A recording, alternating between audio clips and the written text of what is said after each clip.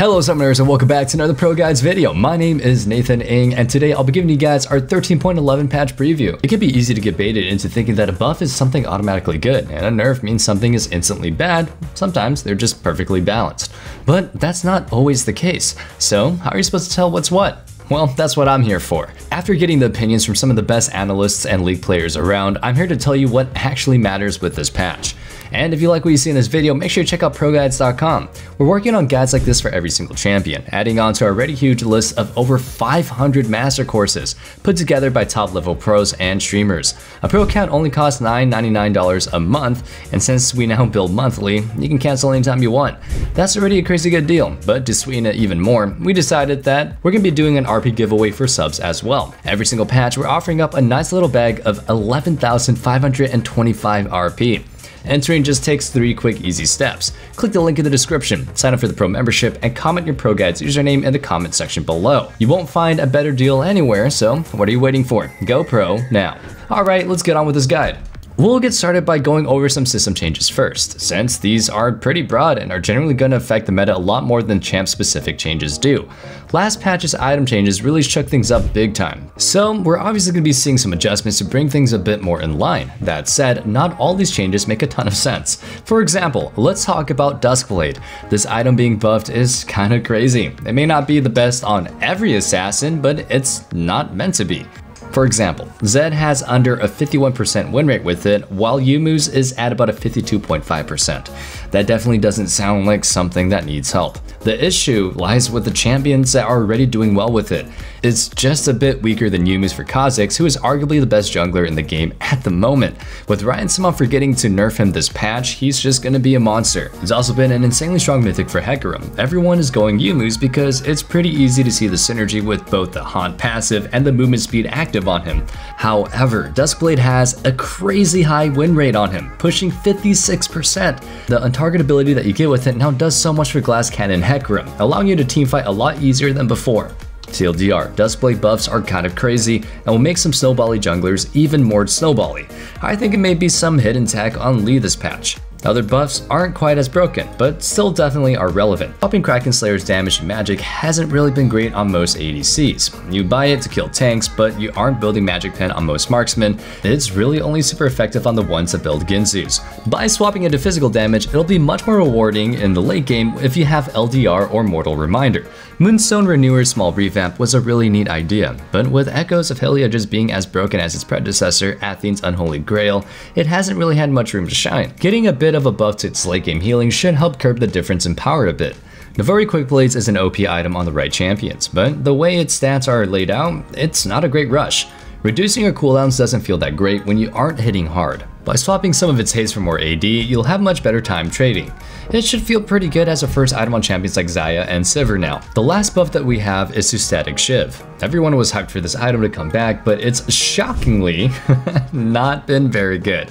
Part of the issue probably comes from having a lot of AP ratio on it, so the base damage isn't very great. Buffing both the base damage and minion multiplier means that it should make a bit more sense to pick it up when you need a wave clear, but won't be building the AP to make it affect on regular ADCs. Alright, now let's take a look at the items getting nerfed. As it stands, Ardent Censer scales way too well. 30% extra attack speed in the late game is a lot to be giving out, especially on champions that can apply it to multiple allies. Making it a flat 20% at all levels should make it good, but not be the end all be all for every single enchanter. Like I said earlier, Echoes of Helia has just been busted, especially since it even applies off of Font of Life, so you can build it on champions like Ashe and Zyra and get value out of it. It definitely needs a nerf, but I am so glad that Riot isn't insta-gutting it like two weeks after its release. It'll be a very strong option for anyone that can reliably keep generating stacks. Personally speaking, Runaan's is one of my favorite items in League of Legends. Even before the item rework, I was a huge fan. That being said, I can definitely admit that it deserves a nerf to its on-hit damage. It's nice to see Galeforce getting a nerf, but honestly, I wish it was a bit more harsh. Galeforce shouldn't be doing much damage at all. It should exist as a third summoner for immobile ADCs to get out of bad spots. Honestly, make it a 5 minute cooldown dash that can go for walls, remove the damage, and make it a legendary item. Make it a truly defensive utility item. Youmuu's Ghostblade has been overperforming big time, with it leaking over to even some ADCs, so no one is surprised that it's being hit in three different ways. I don't think it'll be overtaken by Duskblade on every single champion, but hopefully this is enough to push champions like MF back to their intended items. Lethality builds just don't tend to be too healthy when marksmen pick it up. Lastly, Stormrazor is another item that has been doing way too well. It's been the best first item on the majority of ADCs. The movement speed it gives is just way too valuable, and it does so much damage. It's not like you're sacrificing anything to pick it up.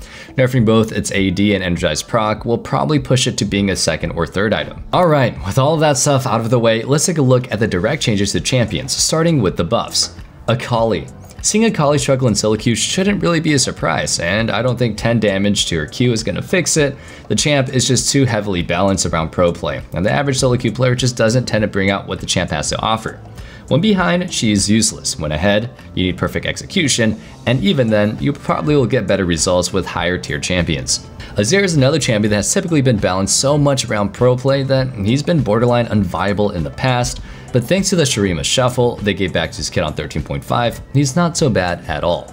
In fact, even right now, he's sitting at almost an even win-loss. The buffs that he's getting this patch should definitely make him pretty strong. He definitely has a bit of a learning curve to him, but the seasoned Azir players should be able to carry pretty hard. Ivern. Ivern is getting his midscope update this patch. While none of the individual changes are huge, added up, I think he's going to be doing pretty well. Bear in mind, people are probably still getting used to Ivern with all the new items. With all these buffs, he may even get pushed into upper tiers once people get used to him. He still freaks me out though because he's like 90% legs. Kalista. A really interesting list of changes is the Kalista buff. Again, another champion that is super prevalent in pro play and therefore usually nerfed to the ground and impossible to use in solo queue, but I don't know. These changes look really good for her. Making it so autos don't miss when you lose vision is huge for trading in lane, as this is a big cooldown reduction on her E in the first few levels. The AD ratio for autos being put back in the standard 100% obviously means more damage early on, so you can abuse her kill lane potential. But more importantly, it also means better scaling. One of Kalista's biggest issues is that she tends to fall off harder in the late game. Now, when you do well early, you'll snowball even harder and be able to push leads more to win later on.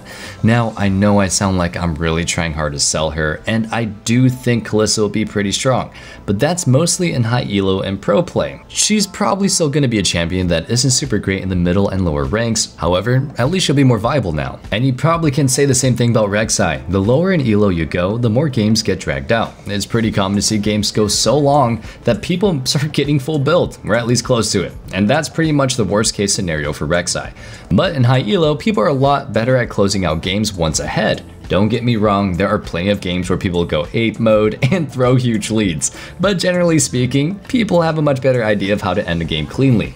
So I think these buffs for Rek'Sai are super nice, but won't matter for the most of the latter. Renekton. Renekton is supposed to be a huge lane bully, able to shut down his opponent hard early on, then snowball to carry in the mid game. If the game goes too late, he falls off quite a bit, but ideally you want to end before that. The problem is, in his current state for the better part of the last couple of seasons, Renekton has been so weak that he just loses most lane matchups. If you can't win lane, you can't be a big threat in the game. He's not very tanky, nor does he have any utility, so you lose out both as a side laner and as a team fighter. The changes that he's getting this patch don't really help too much, you know, being able to close the gap just a little bit more often won't mean much, but a lower ult cooldown is nice if it was rank 1. To really put him back in a viable spot and reliable one, they should be buffing his base stats or his Q. The last buff we have is to Twisted Fate. This is a pretty simple one, flattening out his W's cooldown to 6 seconds instead of scaling down from 8 to 6 depending on what rank you have it at.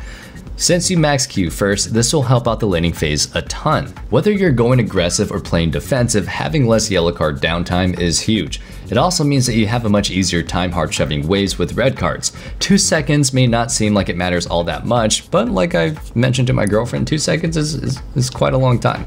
Anyway, here are the champions being nerfed. Aurelion Sol. Another patch, another Aurelion Sol nerf. I kinda hate this. Red is just slapping them on one after another. He's still gonna be a pretty good champion with some crazy scaling. It's not like his win rate is that obscene anymore. Can't they just leave him be?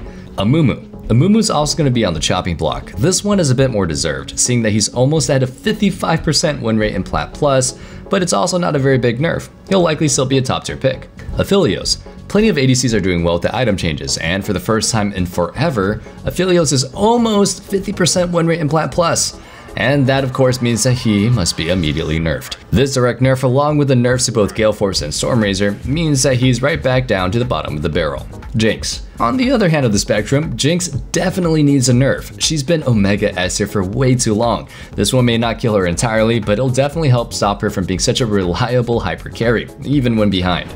Rell. Finishing things off, we have the Rell Midscope update. This one is a much bigger changeup than the one that we're seeing for Ivern.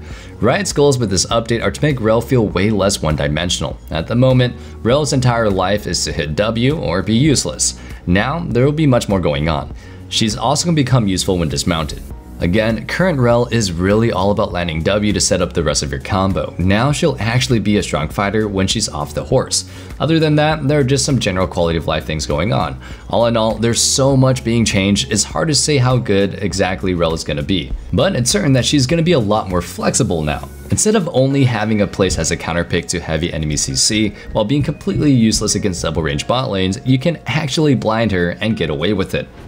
And that about wraps things up for our 13.11 patch preview. Like I mentioned at the start of the video, if you want to see more from us, head over to ProGuides.com. We have tons of other content and courses by pros like CoreJJ, Doublelift, and General Sniper for you to access. And now we're even working on pushing out guides for every single champion. All of that for just $9.99. And that's not all. If you prefer a more one-on-one approach, our team of coaches are the best that you'll find anywhere on the market, and with the Pro Guide sub, you'll even get a discounted rate with them.